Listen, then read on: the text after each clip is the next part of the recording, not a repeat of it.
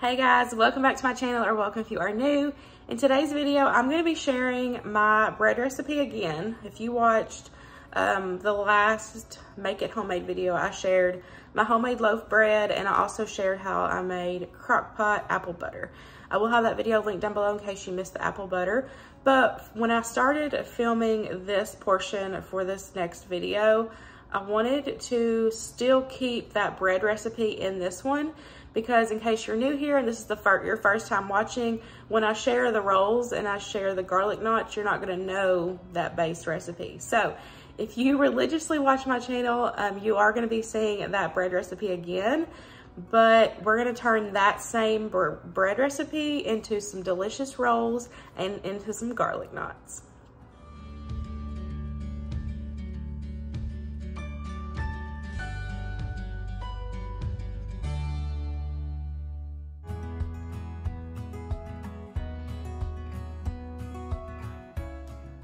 I've got everything sitting out here to make my milk and honey bread. Don't forget, I will have this recipe linked down below for you guys.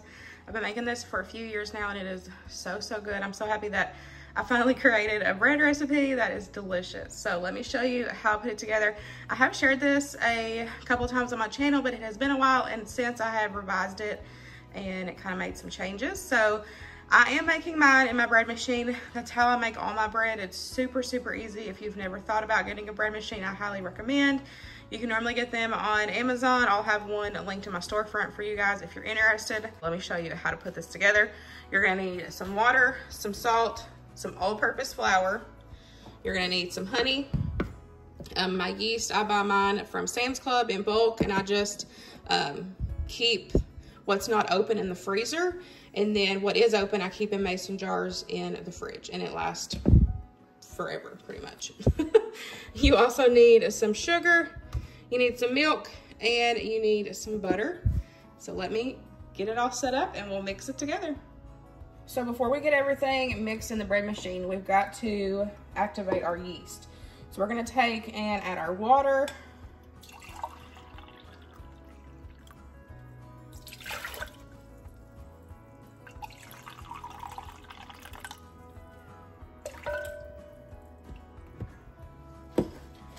milk. Now I'm adding in hot water because you want your um, this liquid mixture to add in your yeast and your sugar for it to bloom. You want it to be at least anywhere from 110 to 120. No more than 120 because it will kill your yeast. Um, so as you see, I'm still under 100.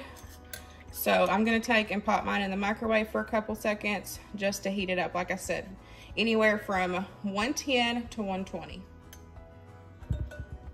Okay, it is at 115. So now we're gonna add in our sugar.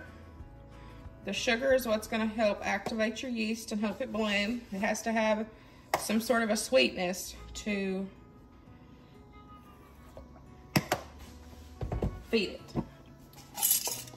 And then we're gonna add in our yeast. If you are using packets of yeast um, instead of like, you know, these, then it's gonna be two packets of yeast.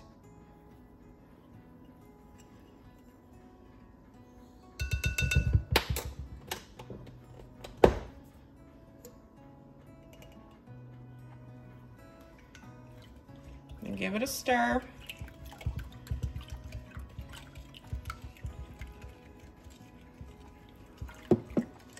And then we're going to set a timer for 10 minutes and let it bloom.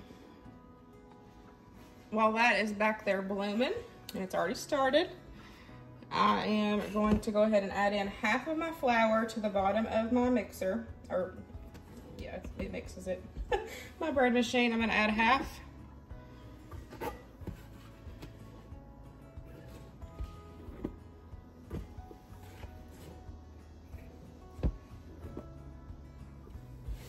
And then I'm gonna add in um, either melted and cooled butter or softened butter.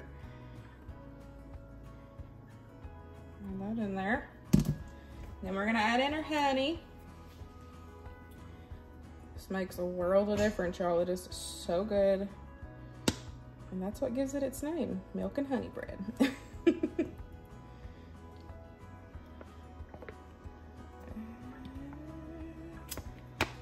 That in there. And so this is good to go. Whenever this is done, when the timer goes off, we will add it in and then we will top with the rest of our flour and our salt. You don't want to put the salt in with the yeast because it could kill it. Okay, we got that in there still. Our yeast is ready to go.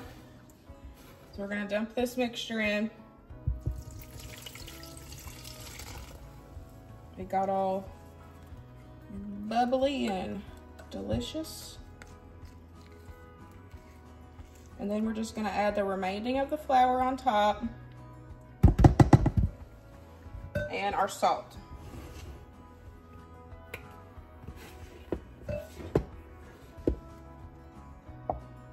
And I like to try to add the flour where it coats the top and doesn't have the yeast coming through. So that way I can add the salt and it not, like I said, it not kill the yeast.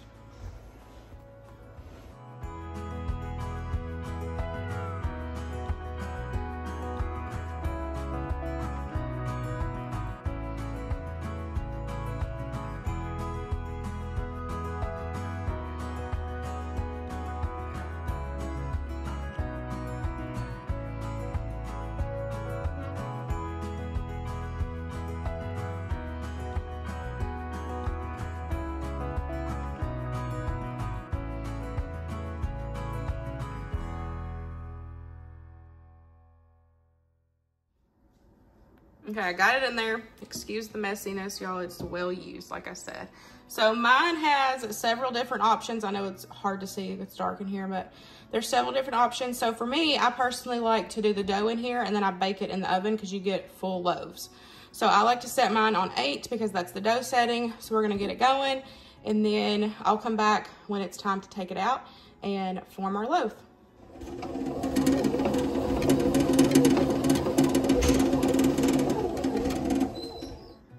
My timer just went off for my bread. It is ready to go. So I have got my Wilton loaf pan. This is the long sandwich loaf. This is the one I prefer to use, but if you don't have it, this does make two like regular smaller loaves. Well, I really like making it in this. I will have a, um, a link for this in my Amazon storefront. If you're interested, I highly recommend. I love, they do come in a two pack, so you get two of these. So I've already greased it. We're gonna get a little bit of flour out and then we're gonna roll it up and get it in there.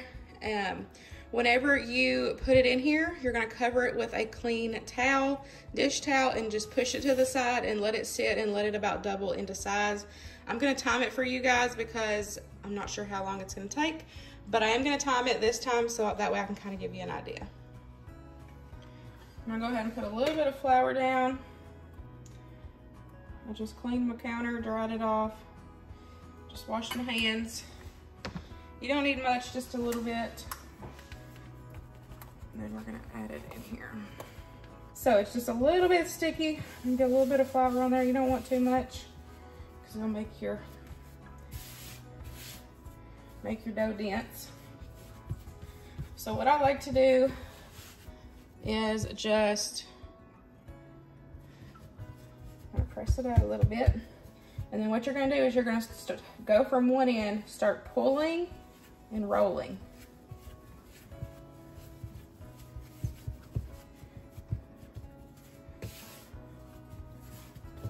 and that's gonna shape your, now with doing it in the bread machine, it's already went through the whole kneading cycle and all the first rise and all that. So for me, I don't have to worry about kneading it and everything. So the process for me, pulling it out of the bread machine, I'm just taking, rolling it up, put it in, we're gonna put it in here, then we're gonna cover it with a towel and let it sit until it doubles in size. So, got it rolled out. Now make sure when you're putting it in your pan to put it seam side down because there is going to be a seam there.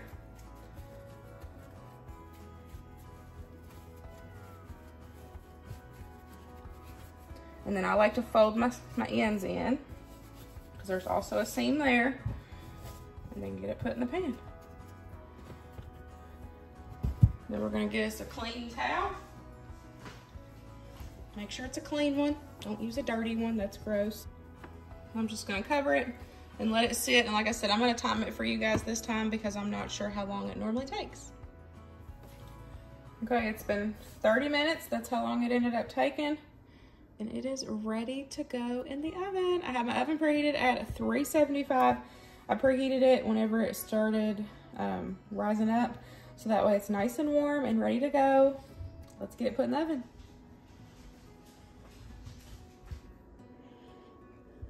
It is done. Oh, it smells so good in here. There's nothing like some homemade bread. the smell of homemade bread. So you want it to be anywhere from 190 to about 200 when it is ready to go. So it is 209, so it's ready to go. It ended up taking 35 minutes to bake, so at 375. So what I like to do is I'm going to take it out of this pan so that way it doesn't carry over cook because this is hot. I'm gonna take it out and I'm gonna put a towel over it and as it cools, I've tested this before and when I don't cover it with a towel when it's hot, it dries out easier. So I've noticed that if I cover it with a towel and let it completely cool with the towel on it, it holds in the moisture and it makes it super, super soft bread. So let's cover it up. Well, let's take it out and get it covered.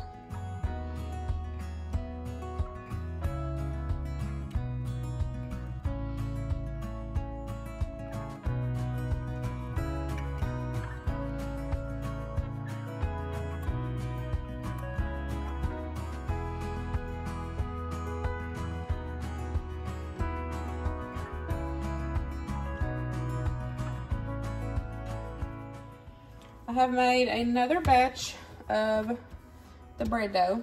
Y'all just got done watching that.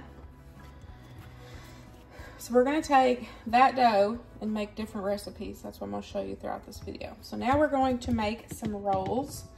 They're so good.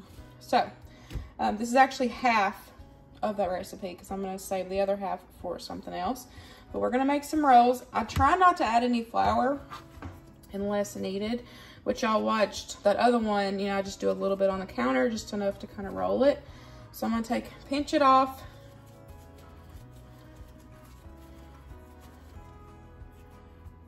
Just kind of use my fingers. And then twirl it, make sure it sticks together. And then you got a nice little circle. And then over here, I've got a greased pan here. And I'm just gonna add them in my little dough balls, but I just do it with my fingers. just do the same thing. Kind of bring it all together. That's it. This is the same recipe, same exact recipe, same dough that I use for my loaf bread. And I love, that's one of the things I love about it is because I can change it up and make it different things. It's not too sweet where I can still do garlic knots, but then it's, it's like it's just sweet enough, you know? Like I can do, um, I can use this for cinnamon rolls. I can do it for garlic knots, which y'all will see. And then just the regular rolls. And I did have somebody in the last um, I don't remember. I think it was the last one where I shared just the loaf bread. They said, like when you're using a bread machine, you know, you just dump and go. But my recipe, it has you, you know, bloom, activate the yeast, you know, you're blooming it and getting it started. I have tested this and it, the dough is more dense. So if you just add everything in, if you follow my recipe, add everything in, the, the dough is not going to be as fluffy and soft. But if you take and do like I do, exactly if you follow my recipe to a T, like I showed it, then it's a lot fluffier and light, like it's a lighter bread. So yeah, it's still gonna turn out if you just dump and go and add everything in. But eh, like I said, if you follow the recipe like I show it, then it's just gonna make a nice light fluffy dough and a nice light fluffy bread or roll or you know whatever you're using so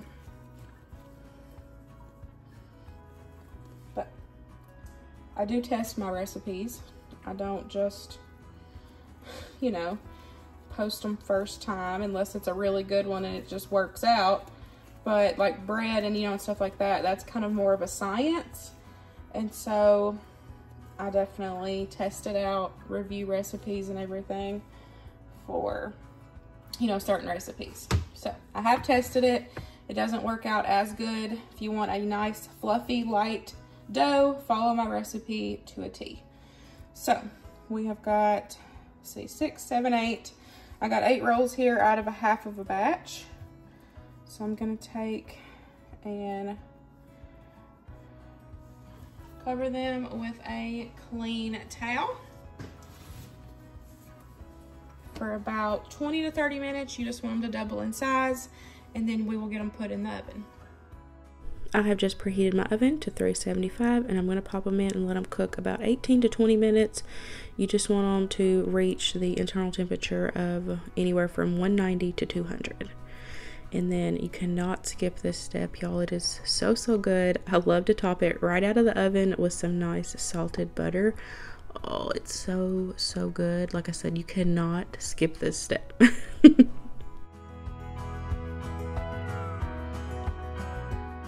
they are they are so good and your family is definitely going to be fighting over them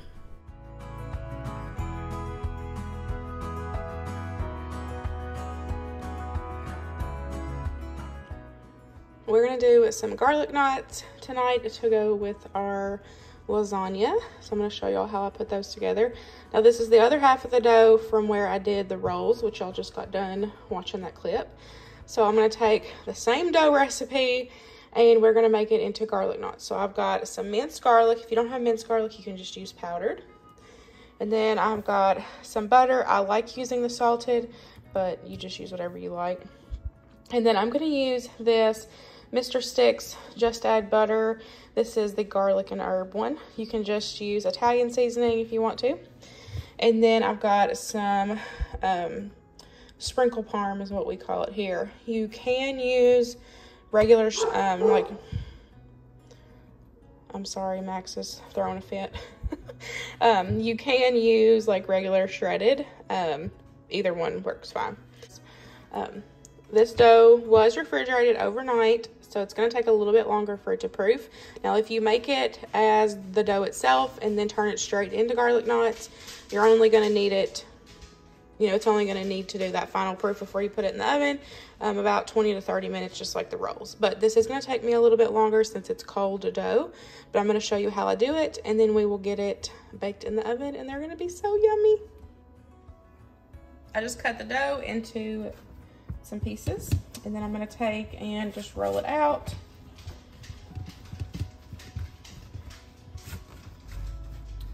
And then just do a knot.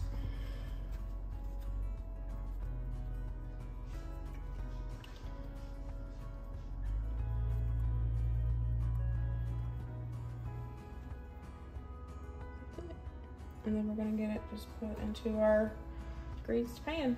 And I'm just gonna do that for all of these and then we will put on our um, um, garlic and parmesan mixture on top.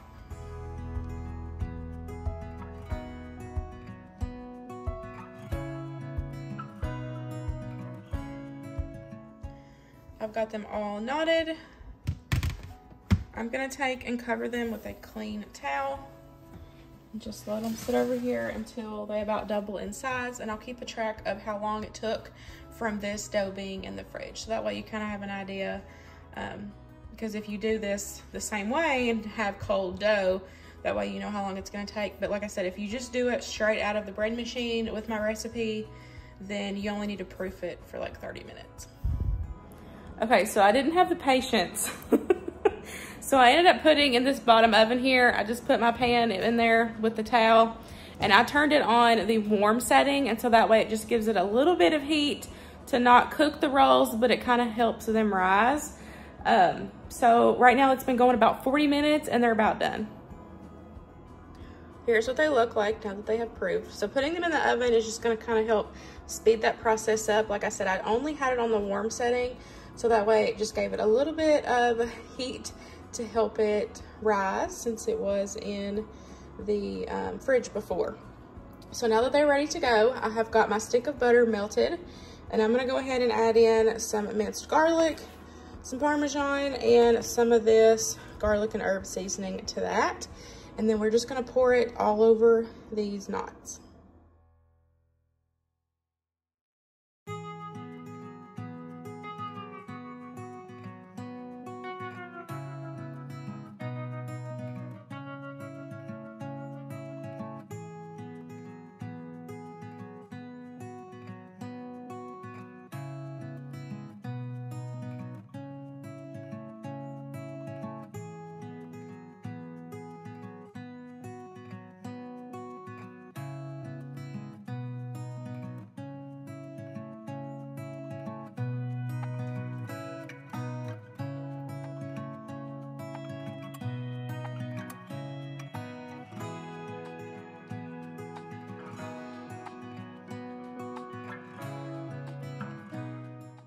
Had to get out my brush so that way I could get all in the little crevices.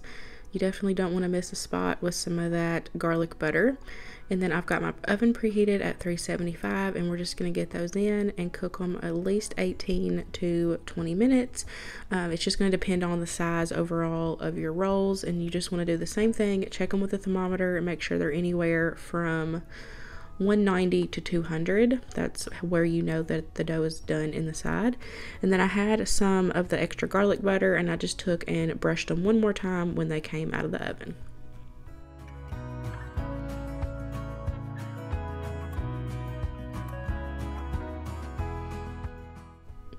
Here is what they look like when they were all done. Y'all these were so good. This is definitely one of those ones that i wish i had done a full batch because everybody was fighting over them. They were delicious. I hope you guys enjoyed today's video. I hope it gave you some inspiration to get in your kitchen and make something from scratch. I love having one base recipe and being able to change it up and make different things with it to be able to feed my family. I really hope you guys enjoyed it, and I will see you in the next one. Bye, guys.